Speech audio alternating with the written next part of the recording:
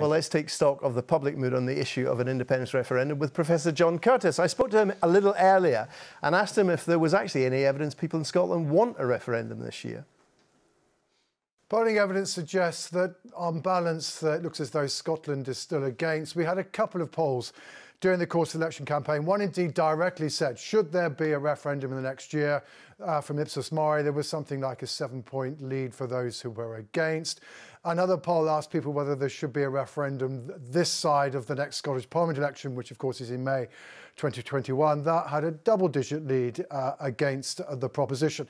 And independence itself, what's happening on that? Well, the polls told us during the whole course of the last calendar year that there was an increase in support for independence for, throughout, for most of the period since the EU referendum, despite the divergent outcome between the rest of the United Kingdom and Scotland, we were still finding around 45% of people saying they'd vote yes, 55% saying they vote no.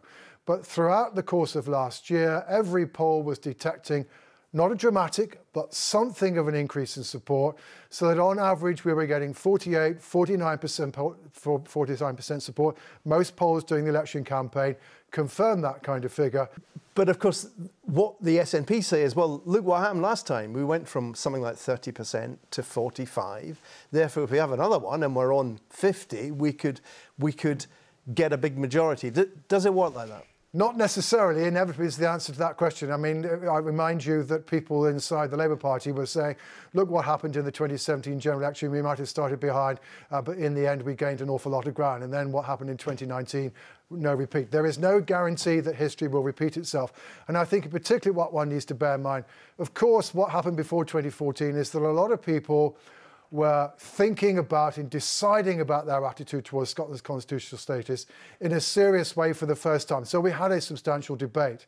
Second time around, I think it's going to be more difficult to change people's opinion. Look, after all, what's happened to attitudes towards Brexit. Very few people who voted in 2016 have since changed their minds. Now, now many people will think that all the rhetoric about another independence referendum at the moment is really about positioning for next year's Scottish elections.